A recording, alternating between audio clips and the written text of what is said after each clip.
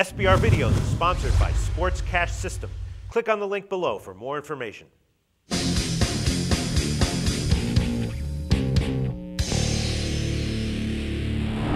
Hi, welcome to SBR Forum Videos. I'm Peter Loshak. We are previewing the College Bowls, and right now we are talking with a brand new guest to our videos uh, this year, Chris Sharp, who comes to us from VegasKillers.com. He's going to take the Rose Bowl, Michigan State, Stanford. Chris Sharp, thanks for being back with us.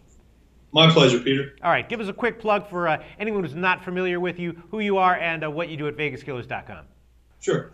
I'm one of the professional handicappers at VegasKillers.com. Uh, currently, we have about 10 of us. Um, and what sets us apart from everybody else is that we're not just giving you guys picks that, you know, we don't believe in ourselves, that we don't right. play ourselves. We're, we're betting thousands a game on, on all our premium plays. And um, that, that's really what sets us apart from all the other uh, pick sites out there.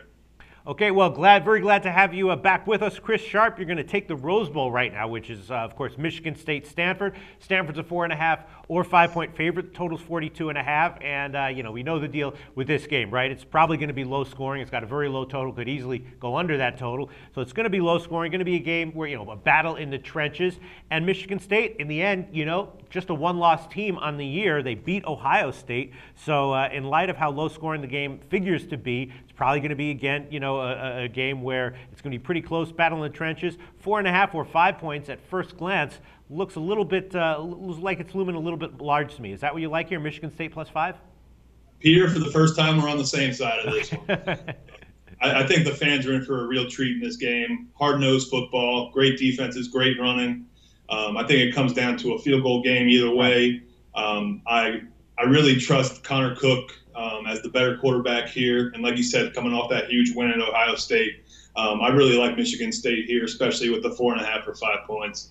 Um, I would take it all the way down to three. All right, so let me ask you this then. You know, when you hear my analysis, that's what the analysis of everyone who looks, you know, you know, at the ESPN uh, uh, team pages for a couple minutes is going to think. I mean, I don't have any kind of model or, or, special inside information. So then, why do you think then that the line is four and a half or five in light of how low the total is and how close the game figures to be?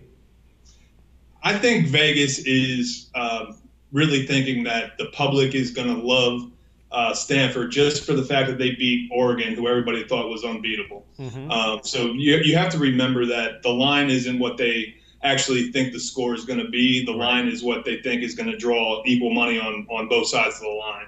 But, um, and I think that Oregon game really sticks in the head of uh, a lot of bettors, and that's why it's a little high. But you don't think that the Ohio State game sticks in the head of bettors just as much? No, I don't. Um, I think a lot of people saw Oregon as unbeatable, mm-hmm. and when Stanford beat them, um, a lot of people just got on the Stanford bandwagon. And I think Michigan's being Michigan State's being overlooked here. Mm-hmm. All right. Well, that's the way I see it as well. Wouldn't be surprised if this line clo- does close, uh, you know, closer to three. In fact. Okay, Chris Sharp, like in Michigan State plus five in the Rose Bowl. Thanks, Chris. Thank you.